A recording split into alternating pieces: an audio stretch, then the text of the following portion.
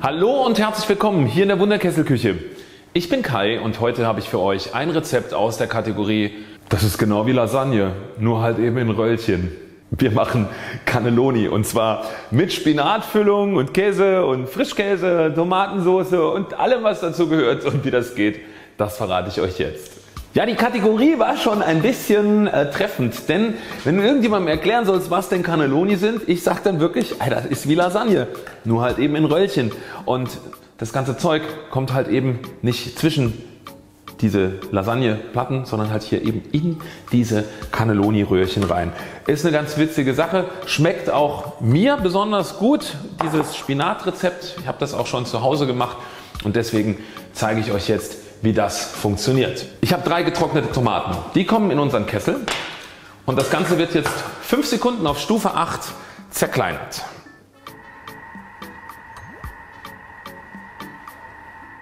Als nächstes geben wir eine Zwiebel, die ich bereits halbiert habe, sowie eine gute große Knoblauchzehe in den Kessel. Und Tomaten, da machen wir ein bisschen nach unten, wobei müssen wir eh gleich nochmal, also für die Katz. Das Ganze jetzt wieder 5 Sekunden auf Stufe 5. Jetzt müssen wir das mit dem Spatel nach unten machen und geben noch 30 Gramm Olivenöl hinzu. Wir dünsten unsere Zwiebeln und unsere getrockneten Tomaten 3 Minuten auf 120 Grad Stufe 1. Bis gleich.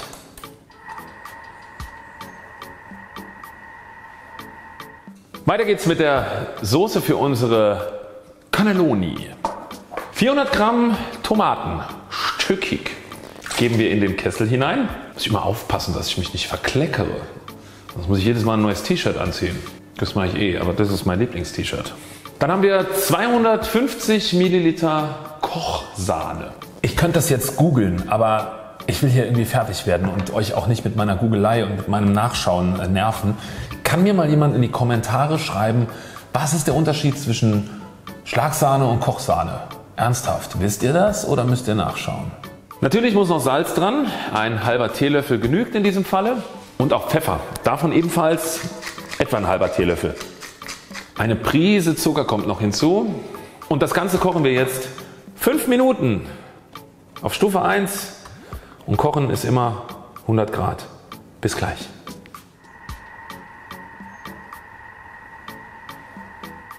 Die Soße für die Cannelloni ist fertig, so gut wie. Wird jetzt aus dem Kessel in eine Schüssel gefüllt. 800 Gramm aufgetauten Tiefkühlspinat und zwar der blättrige, also nicht der mit dem Blub, kommen in den Kessel. Dann haben wir 300 Gramm Frischkäse und einen Esslöffel Creme fraiche. Die kommen ebenfalls hier hinein. Eine Prise Muskat. Muskat ist ja auch so ein Gewürz, das an so viele Sachen dran kann. Ja?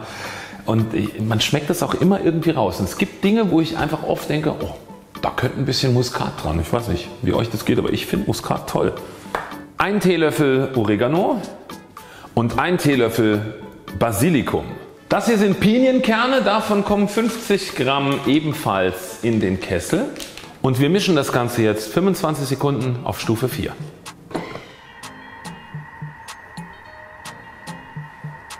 Spinatmasse muss jetzt hier in die Cannelloni rein. In der Theorie macht man das mit einem Spritzbeutel. Praktisch sieht es allerdings so aus, dass wir eben festgestellt haben, verdammt, wir haben gar keinen Spritzbeutel. Also müssen wir jetzt improvisieren. Und zwar habe ich mir einen Gefrierbeutel genommen und habe eine Ecke abgeschnitten. Da fülle ich jetzt diese Spinatmasse ein, natürlich nicht alles. Ja, und das erfüllt nahezu den gleichen Zweck wie ein Spritzbeutel. Oh, ich hoffe nur das Loch ist nicht zu groß. Aber auch mit dem Spritzbeutel gibt es immer Sauerei.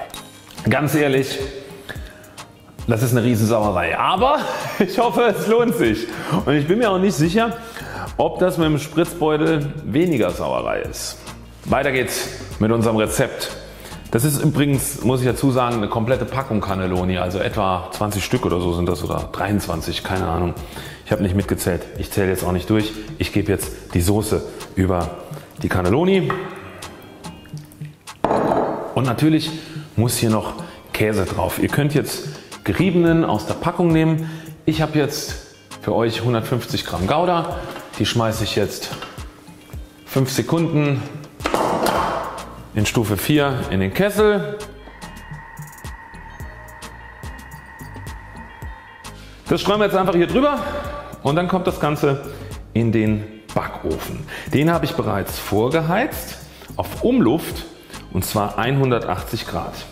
Bestreut und backfertig und zwar für 15 Minuten. Wie gesagt 180 Grad Umluft. Wir sehen uns gleich.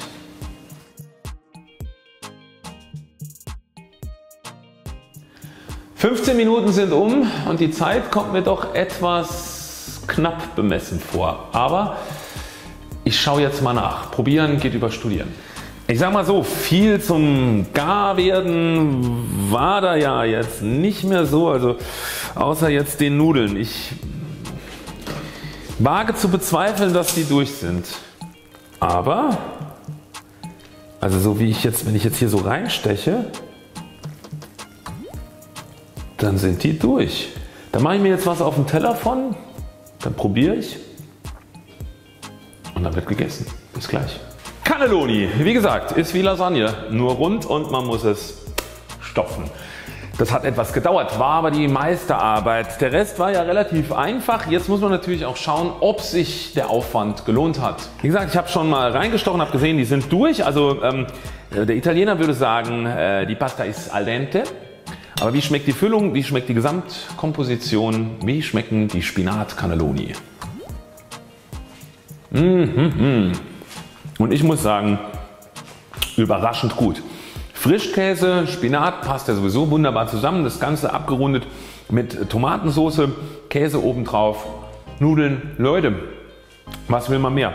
Wie gesagt, ein bisschen Arbeit ist es, aber es lohnt sich, meiner Meinung nach. Ich hoffe auch eurer Meinung. Wenn ihr das nachkocht und es euch geschmeckt hat, dann lasst mir einen Daumen nach oben da, vor allem aber auch wenn euch das Video gefallen hat. Kommentiert gerne was ihr so im Thermomix macht. Habt ihr schon mal Cannelloni gekocht?